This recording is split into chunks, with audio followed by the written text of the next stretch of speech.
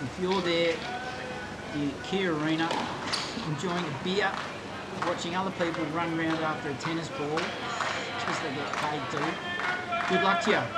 Um, so just looking at the score, uh, the Aussies, uh, um, the Aussies uh, now got three break points to break serve. Again, it's the second game in a row that they are um, trying to take advantage of a break point opportunity, but this time have uh, have these have their opponents got what it takes? Have they got enough legs in the tank to? I'd say the Aussies, uh, by weight of numbers and weight of effort, I'd say that they're going to wrap this. Uh, uh, this will be game of the second set. I'd say the Aussies are on track uh, to win this game. They're up 40 love. Uh, and again, apologies, I can't can't make out who's serving.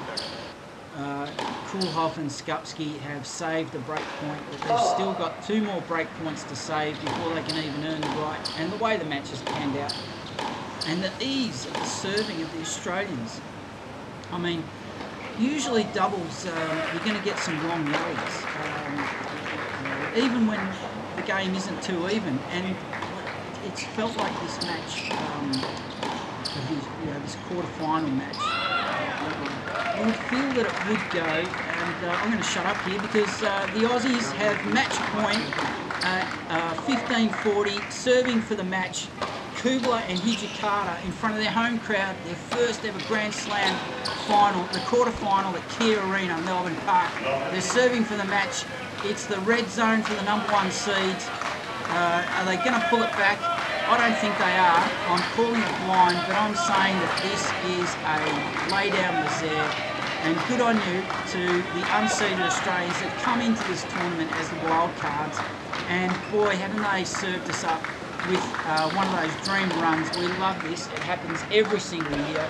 There's always an Australian. There's always a player that makes it through.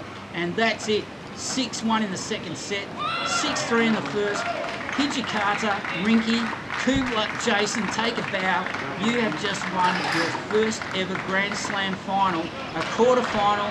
They're into the semi-final now. They've seen off the number one seeds, and boy, hasn't this got a ring of familiarity to it? Because I can tell you that last year, the, the special gut, the special, the special K's, the special K's achieved exactly the same thing. They came from nowhere, uh, unseeded. Uh, they were also wild cards and uh, they made it through and they also defeated top seeds they defeated the number one seeds in their run uh, to the um, to the, the, doubles final they ended up beating the number two seeds Kubler and Hijikata uh, names that are nowhere near known well enough Jason Kubler known for his uh, mental resilience Rinky Hijikata known for his ability to sleep on planes during long fights flights. well done, you. Well done, fellas. That is a fantastic result for Australian tennis. Because I tell you what, with uh, with uh, Kyrgios, Kokkinakis, Millman, uh, Demon, all, all falling short in the singles. And uh, as we know, most elite level tennis players in the singles ranks usually don't kick on in the doubles. And uh, we've, you know, we've got no Barty, no Stosur, uh, the girls' ranks in the uh, amongst the Australians are a bit thin on the ground these days, so it's fantastic to see um, Rinky and Jason. It's fantastic to see you guys do so well. And you know what that means, folks, don't you?